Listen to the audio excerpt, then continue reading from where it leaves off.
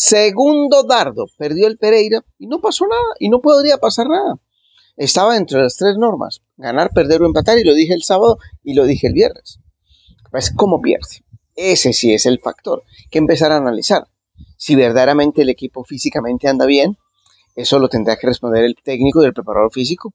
Si la memoria táctica todavía no se ha ganado y en qué momento se va a recuperar, no se recupera si no se va a ganar, porque del medio campo hacia arriba es un equipo interesante, del medio campo hacia atrás para uno sobarse la cabeza.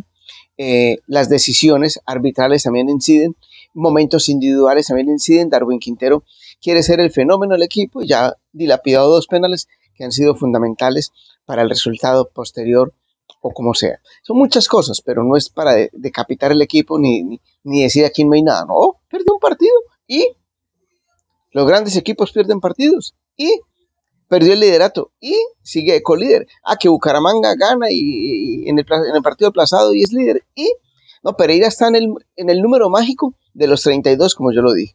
Quedan 18 puntos por disputar.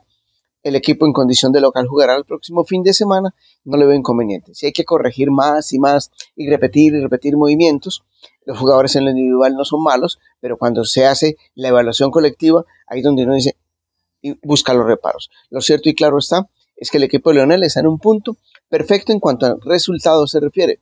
Nadie, nadie se imaginaba que este equipo iba a llegar a ser líder, nadie se imaginaba que este equipo iba a, ser, a tener una opción de, clasificarse anticipado. No lo hizo, podrá hacerlo el próximo domingo. En fin, inclusive lo decía, puede empatar o perder ante, Tolima, empatar ante Bucaramanga y el mundo no se va a acabar. el campeonato va a seguir. En fin, ahora les hago un análisis de lo que es el fútbol colombiano, porque según Rentería, aquí todo es malo.